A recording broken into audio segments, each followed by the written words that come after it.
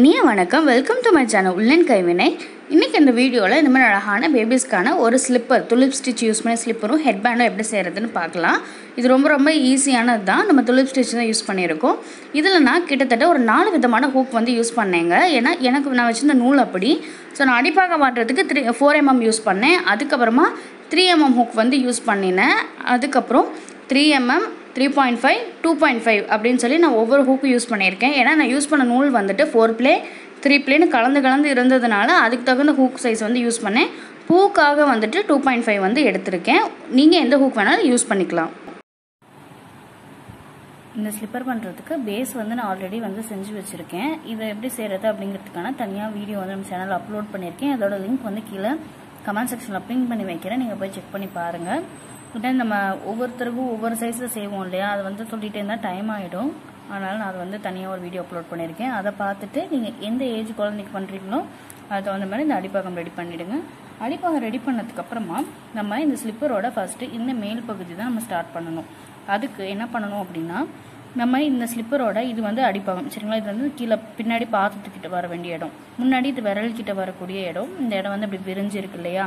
இந்த விரிஞ்சு இருக்கக்கூடிய இடத்த வந்து நீங்கள் விட்டுறணும். சரிங்களா? நல்லா இந்த கேர்வ் வந்து நம்ம விட்டுட்டு கேர்வ் பக்கத்தில் இருக்கக்கூடிய இடத்துல ஸ்ட்ரைட்டாக வந்து நம்ம ஸ்டிச் மார்க்கர் வந்து மார்க் பண்ணிக்கலாம். எதுக்கு அப்படின்னா இந்த இது வந்து நம்ம இங்கேருந்து ஸ்டார்ட் பண்ணுறோம் இல்லையா? பாருங்கள் இங்கேருந்து ஸ்டார்ட் ஆகுது. இங்கேருந்து ஸ்டார்ட் ஆகி தான் இங்கே வருது. ஸோ இந்த ஸ்டார்ட் பண்ணி வரக்கூடிய இந்த இடத்துக்கு நம்ம ஸ்டார்ட் பண்ணோம்.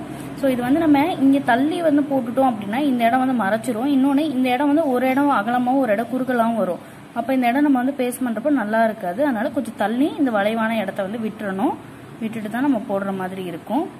அதுக்கு நீங்கள் இவ்வளோ செயின்ஸ் வந்து போட்டு வைக்கணும். கொஞ்சம் செயின்ஸ் இந்த செயின்ஸ் வந்து இவ்வளோதான் இருக்கணும் அப்படின்ற கவுண்ட் எல்லாம் எதுவுமே கிடையாது.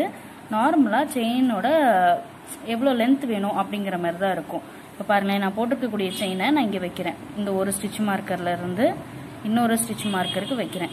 இப்படி நான் வைக்கிறப்போ எனக்கு இப்படி வந்து இது கொஞ்சம் தூக்கிட்டு தெரியணும். இப்படி மேலே கொஞ்சம் தூக்கணும். இப்படி ஃப்ளாட்டாக இருக்கக்கூடாது. சரிங்களா? ஃப்ளாட்டாக இல்லாமல் இப்படி கொஞ்சமாவது நல்லா கொஞ்சம் தூக்கி இருக்கிற மாதிரி. அப்படி இருந்தால் தான் நீங்கள் இங்கே வைக்கும் போது உங்களுக்கு நிறைய பூவும் கிடைக்கும். இந்த மாதிரி வந்து இருக்கும். செயின்ஸ் நிறைய போனால் பிரச்சனையே இல்லை. இந்த மாதிரி நமக்கு நல்லா பஃபாக வந்து நமக்கு இடம் கிடைக்கும். அதனால் கொஞ்சம் செயின்ஸ் வந்து போட்டுக்கலாம்.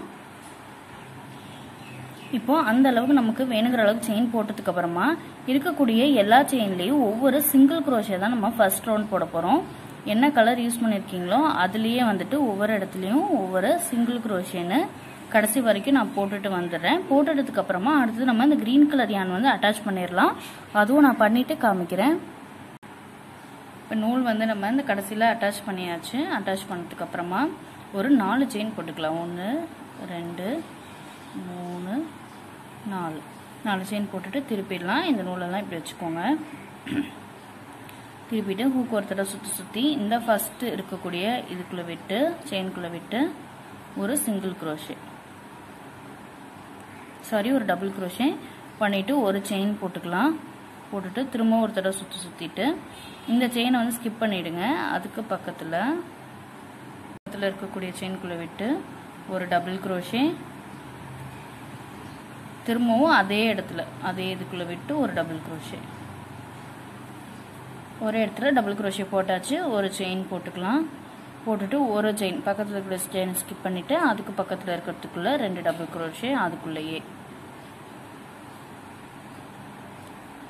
திரும்பவும் அதுக்குள்ளேயே. அதுக்கப்புறமா ஒரு செயின் போட்டு ஒரு செயினை ஸ்கிப் பண்ணிடணும். ஒரு செயின் இங்கே போட்டாச்சு ஒரு செயினை ஸ்கிப் பண்ணிட்டு இதில். இதே மாதிரி நான் அந்த கடைசி வரைக்கும் போட்டுட்டு வரேன். இப்போ அது ஃபுல்லாக நம்ம வந்து முடிச்சாச்சு. ஒருவேளை கடைசியில் ஒரே ஒரு தையல் மட்டும்தான் இருக்குது அப்படின்னா நீங்கள் அதுலேயும் வந்துட்டு ஜஸ்ட் ஒரு டபுள் குரோஷியை மட்டும் போட்டுட்டு விட்டுருங்க. அங்கே வந்து நம்ம வந்து வி ஸ்டிச் வந்து போட வேண்டியதில்லை. அதுக்கப்புறமா நம்ம ரெட் கலர் நூல் வந்து ஜாயின் பண்ணிக்கலாம். இது நான் ரெட் கலர் எடுத்திருக்கேன். பூக்கு நீங்கள் என்ன எடுக்கிறீங்களோ அதுதான். ஸோ இப்போ இதில் நம்ம ஒரு நாலு செயின் போட்டுக்கலாம். போட்டுட்டு இந்த நூல் எல்லாமே வச்சு பின்னாடி திருப்பிக்கலாம்.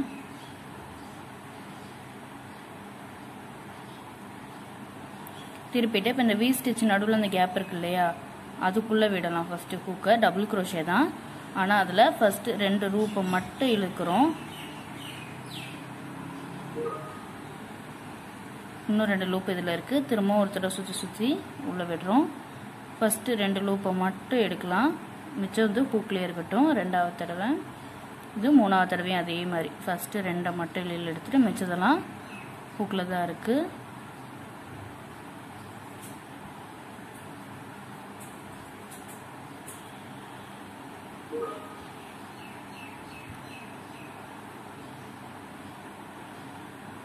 நமக்கு எவ்வளோ தூரம் அந்த பூ வேணுமோ பஃப் வேணுமோ அதுக்கு தகுந்த மாதிரி நம்ம மூணு நாலு அஞ்சு ஆறு தடவை கூட நீங்கள் விடலாம்.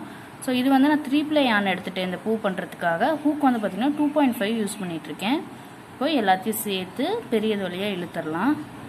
நமக்கு ஒரு பூ வந்து ரெடி ஆயிடுச்சு இல்லையா? ரெடி ஆனதும் ஒரு செயின் போட்டுட்டு திரும்பவும் அடுத்த வி ஸ்டிச் இதுக்குள்ளே இருக்கு இல்லையா? இதுக்குள்ளே.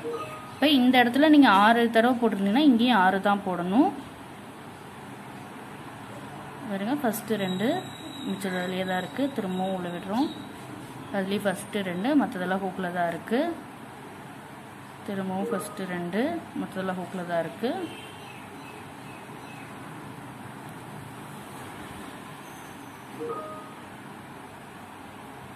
எல்லாத்தையும் சேர்த்து இழுத்து ஒரு செயின் இதே மாதிரி இந்த கடைசி வரைக்கும் போட்டுட்டு வந்துடலாம் நம்ம.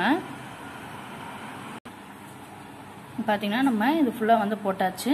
கடைசி இதில் ஒரு டபுள் குரோஷியா மட்டும் போட்டுடலாம். போட்டுட்டு இங்கே என்ன நூல் யூஸ் பண்ணமோ அதே இதுலேயும் போட்டு ஒரு செயின் போட்டு இப்படி திருப்பிக்கலாம். திருப்பினதுக்கு அப்புறமா இந்த கேப் இருக்கு பாருங்களேன் இந்த இடத்துல. இதுக்குள்ள ரெண்டு சிங்கிள் குரோஷே ஒன்று ரெண்டு. அதுக்கப்புறமா இந்த பூவில் இந்த பக்கம் இங்கே ஒரு கேப் கிடைக்கும். அதுக்குள்ளே ஒரு சிங்கிள் குரோஷே அப்புறம் இந்த கேப் இதுக்குள்ளே ரெண்டு சிங்கிள் குரோஷே ஒன்று ரெண்டு. ரெண்டு சிங்கிள் குரோஷே திரும்பவும் இந்த பூ நம்ம போட்டிருக்க பூவில் இந்த இடத்துல ஒரு கேப் இருக்கும். அதில் ஒரு சிங்கிள் குரோஷே இதே மாதிரி இது ஃபுல்லாக போட்டுடலாம்.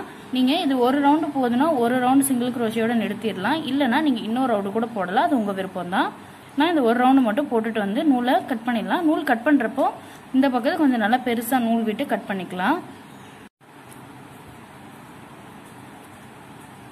இப்போ இவ்வளோ நூல் விட்டு கட் பண்ணியிருப்போம் இல்லையா? அதில் ஊசி வந்து கோத்துக்கோங்க. இதோட முன்பக்கம் வந்து பார்த்துக்கோங்க முன்பக்கம் பார்த்துட்டு இதை இப்படி கரெக்டாக இந்த பக்கம் வச்சுக்கோங்க சரிங்களா? இந்த நம்ம வந்து ஸ்டிச் மார்க் மாதிரி பண்ணியிருக்கோம் இல்லையா? அந்த இடத்துக்கிட்ட இதை வச்சுட்டு இதையும் இப்படி நல்லா கீழே ப்ளேஸ் பண்ணிக்கோங்க. பண்ணதுக்கு அப்புறமா எப்பொழுதும் போல் நம்ம சாதாரணமாக தப்போம் இல்லையா? அதே மாதிரி தான் இந்த தடவை இதை தைக்க போகிறோம் எப்பொழுதும் நம்ம சாதாரணமாக எப்படி தைப்போமோ அதே மாதிரி தான் ஆனால் இந்த ஹூ- நூல் எடுத்துக்கோங்க. கீழே அடிப்பாகத்தில் நீங்கள் என்ன நூல் வந்து யூஸ் பண்ணியிருக்கீங்களோ அந்த நூல் மட்டும் யூஸ் பண்ணி தைச்சிக்கோங்க. ஸ்லிப் ஸ்டிச் போட்டால் இது அந்த அளவுக்கு வந்து ஸ்டிஃபாக நமக்கு நல்லா இருக்க மாட்டேங்குது. ஃபினிஷிங் நல்லா இல்லை. அதனால தான் சொல்கிறேன் இதே மாதிரி இந்த பக்கமும் அந்த பக்கமும் கொஞ்சம் தெரியாத அளவுக்கு நம்ம தைக்கணும். நான் ஃபுல்லாக தைச்சிட்டு உங்களுக்கு காமிக்கிறேன். இப்போது நான் ஃப்ரண்ட் பாகம் வந்து க ஸ்டிச் பண்ணி முடிச்சுட்டேன்.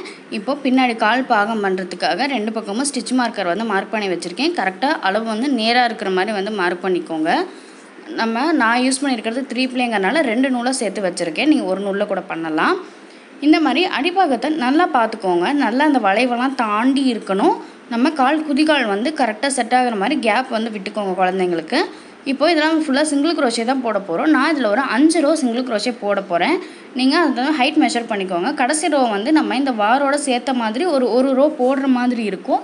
அதனால் ஹைட்டை அதுக்கு தகுந்தாப்புல நீங்கள் வந்து அட்ஜஸ்ட் பண்ணிக்கோங்க. ஏன்னா ரொம்ப ஹைட்டாக போனாலும் நல்லா இருக்காது இல்லையா குழந்தைங்களுக்கு? ஒரு ஆறு ரோ வரைக்கும் நம்ம போட முடியும். இப்போது சிங்கிள் குரோஷே தான் நம்ம ஃபஸ்ட்டு போட போகிறோம் இல்லையா? செயின் வந்து இது மாதிரி நூல் வந்து கோத்துட்டு ஒரு சிங்கிள் குரோஷே போடணும். அதுக்கு முன்னாடி ஒரு செயின் போட்டிருக்கோம். நம்ம எப்பயுமே சேஃப்டிக்காக ஒரு செயின் போடுவோம் இல்லையா? அதை போட்டாச்சு. இப்போ அடுத்து சிங்கிள் குரோஷே போட போகிறோம் நான் வந்து நடுவில் இருக்கக்கூடிய இந்த ரெண்டு தையல்களில் தான் வந்து நான் சிங்கிள் குரோஷே போட போகிறேன் ஒவ்வொருத்தரும் ஒவ்வொரு விதமாக போடுவோம் இல்லையா? எது உங்களுக்கு கம்ஃபர்டபுளாக இருக்கோ அந்த இடத்துல நீங்கள் போட்டுக்க முடியும். என்ன பாருங்களேன். நான் வந்து இந்த நடுவில் இருக்கக்கூடிய தையல் ரெண்டு தையலுக்குள்ளே விட்டு தான் சிங்கிள் குரோஷே போட்டுக்கிட்டு இருக்கேன். ஒருவேளை உங்களுக்கு அடியிலேருந்து போடணும்னு தோணுச்சுன்னா நீங்கள் அடியில் கூட வந்து விட்டு நாளையும் சேர்த்து போட முடியும். கீழே பார்த்தீங்கன்னா ஒரு செயின் மிச்சம் இருக்கு இல்லைங்களா? அதுக்குள்ளே விட்டு மேலே இருக்கக்கூடிய ரெண்டையும் சேர்த்து விடுவாங்க ஒரு சில பேர். ஸோ அந்த மாதிரி உங்களுக்கு விடணும் அது கம்ஃபர்டபுளாக இருக்கும்னு ஃபீல் பண்ணிங்கன்னா நீங்கள் அப்படி கூட போடலாம் அதுலேயும் தப்பு கிடையாது. ஆனால் எது ஆரம்பிக்கிறீங்களோ அதே வந்து கடைசி வரைக்கும் பண்ணிடுங்க அப்போ தான் வந்து உங்களுக்கு கரெக்டாக இருக்கும். நான் அது ஃபுல்லாக முடிச்சிடுறேன். இப்போ நீங்கள் இதில் சிங்கிள் குரோஷே போட்டு இந்த பக்கம் வந்ததுக்கப்புறமா ஒரு செயின் போட்டு திருப்பிட்டு திரும்ப அது ஃபுல்லாக சிங்கிள் குரோஷே இதே மாதிரி ஒரு அஞ்சு ரோ வந்து நம்ம போடணும். நீங்கள் ஹைட் வந்து மெஷர் பார்த்துக்கோங்க. கடைசி ஒரு ரோ மட்டும் நம்ம அந்த வார் வச்ச ரோ வந்து போட்டுக்கலாம். நான் அது வரைக்கும் போட்டுட்டு வந்துட்டு காமிக்கிறேன். இப்போ நான் அந்த அஞ்சு ரோ போட்டாச்சு. போட்டதுக்கப்புறம் வார் போட போகிறோம் வார் போடுறதுக்கு நம்ம கொஞ்சம் செயின்ஸ் வந்து போட்டுக்கலாம். நான் இதுக்கு த்ரீ எம்எம் ஹூக்கு தான் யூஸ் பண்ணியிருக்கேன். ஆனால் த்ரீ பிளே நூலை ரெண்டாக யூஸ் பண்ணுறேன் ஏன்னா அடிப்பாக்கத்தை பொறுத்த வரைக்கும் கொஞ்சம் மொத்தமாக இருந்தால் தான் ஸ்லிப்பருக்கு ரொம்ப அழகாக இருக்கும். ஏன்னா ஸ்லிப்பர் வந்துட்டு கீழே இருக்கக்கூடிய அடிப்பாகமும் வெயிட்டு வார் பின்னாடி பாகமும் வெயிட்லெஸ்ஸாக இருந்தால் ஸ்லிப்பர் தொங்கி போயிடும் அதுக்காகத்தான். இப்போ இப்படி நல்லா வச்சு பாருங்கள் உங்களுக்கு அந்த ஹைட்டு வந்து போதுமா அப்படின்னு சொல்லிட்டு. சாரி அந்த லென்த் வந்து போதுமான்னு பாருங்கள் ரொம்ப பிடிச்சி இழுத்துறாதீங்க. செயின் போட்டதுக்கப்புறமா அதுலேருந்து ஒரு ரெண்டு செயின் தள்ளி நீங்கள் சிங்கிள் குரோஷி போட ஆரம்பிக்கலாம். இதில் நீங்கள் கவனிக்க வேண்டியது நீங்கள் என்ன மாதிரியான பட்டன் வந்து அந்த இடத்துல வைக்க போகிறீங்க அப்படின்னு. ஒருவேளை நம்ம ட்ரெஸ்ஸுக்கு யூஸ் பண்ண நார்மல் பட்டனாக இருந்ததுன்னா மூணே மூணு செயின் தள்ளி போட்டால் போதும். பெரிய பட்டனாக தான் நீங்கள் ஒரு நாலு செயின் தள்ளுற மாதிரி இருக்கும். இந்த மாதிரி ஒரு கேப் கிடைக்கும் உங்களுக்கு. நான் யூஸ் பண்ண சின்ன பட்டன் தான் அப்படிங்கிறனால நான் இவ்வளோ சின்ன கேப் போதுன்னு பார்க்குறேன் இன்னொரு தடவை காமிக்கிற பாருங்கள் இந்த லென்த் வந்து வச்சு மெஷர் பண்ணுங்கள் அந்த இடத்தோட முடியுது இல்லையா? அதில் கை வச்சுக்கோங்க. ஒரு விரல் வச்சுட்டு. அது இல்லாமல் ஒரு மூணு செயின் நீங்கள் போடணும். அதுக்காகலாம் அந்த இடத்துல விரல் வச்சு நம்ம ஒரு மார்க்கிங் மாதிரி ஞாபகம் வச்சுக்கிறது. எக்ஸ்ட்ரா மூணு செயின் போட்டோம் இல்லையா? இப்போ அந்த விரல் வச்சிருந்த செயின்குள்ளே விட்டு ஒரு சிங்கிள் குரோஷே ஃபஸ்ட்டு போட்டுக்கலாம். இப்போ பாருங்கள் நடுவில் கேப் கிடைக்கும். இது வந்து நம்ம பட்டன் வைக்கிறது ரொம்பவே சரியாக இருக்கும். இப்போ இந்த செயின் ஃபுல்லாகவே சிங்கிள் குரோஷியை தான் நம்ம போடணும். போட்டுட்டு இந்த பக்கம் வந்து அப்படியே ஜாயின் பண்ணி இந்த சுற்றிரும் ஒரு சிங்கிள் குரோஷியை போடலாம் செயின் இருக்குல்ல ஃபுல்லாக சுற்றிரும் போட்டு நூல் கட் பண்ணி விட்டுடலாம். அப்படி நீங்கள் பண்ணுறப்போ உங்களுக்கு இந்த மாதிரி ஃபினிஷிங் கிடைக்கணும். எங்கேயும் குணமானலாம் வராமல் நல்லா நீட்டான ஒரு ஃபினிஷிங் கிடைக்கணும். ஏன்னா ஒரு சில பேருக்கு ரைட் ஒரு சில ஸ்லிப்பரில் லெஃப்ட் அப்படிங்கிற மாதிரி நமக்கு கை வாகாக இருக்கும். அதுக்கு தகுந்த போல் நீங்கள் வந்து அட்ஜஸ்ட் பண்ணிக்கோங்க. இப்போ நான் அதை ஃபுல்லாக கம்ப்ளீட் பண்ணிட்டேன். அடுத்தது நம்ம குழந்தைங்களுக்கான ஹெட்பேண்ட் வந்து பண்ணிடலாம் அதுக்காக நான் கொஞ்சம் செயின்ஸ் போட்டு வச்சுருக்கேன். இந்த செயின் வந்துட்டு குழந்தைங்களோட தலை சுற்றளவை வந்து வந்து மெஷர் பண்ணி வச்சுக்கணும். அதுக்காக கூகுள் மெஷர்மெண்ட் கூட இருக்குது நான் கீழே வந்து லிங்க் கொடுக்குறேன். அதில் ஹெட் சர்க்கம்ஃபரன்ஸ் அப்படின்னு கொடுத்துருப்பாங்க. தலையோட சுற்றளவு. அந்த சுற்றளவுக்கு தகுந்தாப்புல நீங்கள் வந்து செயின் போட்டுக்கோங்க. போட்டுட்டு இந்த மாதிரி அது பெறலாமல் பார்த்துக்கோங்க பார்த்துட்டு நம்ம ஃபஸ்ட்டு போட்ட செயின்குள்ளே ஹூக்கை உள்ளே விட்டு ஒரு ஸ்லிப் ஸ்டிச் போட்டு நம்ம ஜாயின் பண்ணிக்கலாம். இப்போ பாருங்கள் நான் வந்து ஃபுல்லாக ஸ்லிப்பர் அண்ட் ஹெட்பேண்ட் ரெண்டுமே கம்ப்ளீட் பண்ணிட்டேன். ஹெட்பேண்ட் சொன்ன மாதிரி அதே ஸ்டெப் தான் ஒரு செயின் ஒரு கோங்க இதில் நான் செயின் போட மறந்துருக்கேன் நீங்கள் ஸ்லிப்பரில் என்ன பண்ணணுமோ அதே ஹெட்பேண்டுக்கும் பண்ணிட்டு உங்களுக்கு வேணும்னா இந்த இடத்துல நீங்கள் ஒரு பஃப் ஃப்ளவர் கூட வந்து அப்படின்னு இது ஃபுல்லாக நீங்கள் ரொம்பவே அழகாக இருக்கும் இதை ஃபர்ஸ்ட் சேனல் பார்க்குறீங்கன்னா மறக்காம சப்ஸ்கிரைப் பண்ணிக்கோங்க. மிக்க நன்றி. பண்ணியிருக்கோம் இல்லையா? அதில் என்ன ஃபாலோ பண்ணோமோ அதே தான் இதுக்கும். அதே மாதிரி ஒரு சிங்கிள் குரோஷே அதுக்கப்புறமா ஒரு வி ஸ்டிச் பச்சை கலரில் ரெட் கலரில் பூ கடைசியாக ஒரு சிங்கிள் குரோஷே அவ்வளோதான் ஹெட்பேண்டு இதில் என்ன ஃபாலோ பண்ணோமோ நீங்கள் அதே வந்து ஹெட்பேண்டுக்கும் ஃபாலோ பண்ணிங்கனாலே நம்ம ஹெட்பேண்ட் வந்து ரொம்ப அழகாகவே வந்து ரெடி ஆகிடும் நான் ஃபுல்லாக முடிச்சுட்டு காமிக்கிறேன். இப்போது நான் இதை ஃபுல்லாகவே முடிச்சுட்டேன் ஹெட்பேண்டும் அதே மாதிரி பண்ணியாச்சு. உங்களுக்கு வேணும்னா நீங்கள் இதில் ஒரு பஃப் ஃப்ளவர் கூட வந்து வச்சு ஒரு கல் வச்சுட்டிங்க அப்படின்னா ஒரு ஸ்டோன் மாதிரி வச்சுட்டிங்கன்னா அது ரொம்பவே வந்து அழகாக இருக்கும். த ஃபர்ஸ்ட் டைம் நம்ம சேனல் பார்க்குறீங்க அப்படின்னா மறக்காமல் சப்ஸ்கிரைப் பண்ணிக்கோங்க. பக்கத்தில் இருக்க பெல் பட்டனையும் கிளிக் பண்ணிக்கோங்க. நம்ம ஃபேஸில் நம்ம ஃபேஸ்புக் பேஜ் அண்ட் இன்ஸ்டாகிராம்லேயும் நம்ம பேஜை ஃபாலோ பண்ணுங்கள் நன்றி!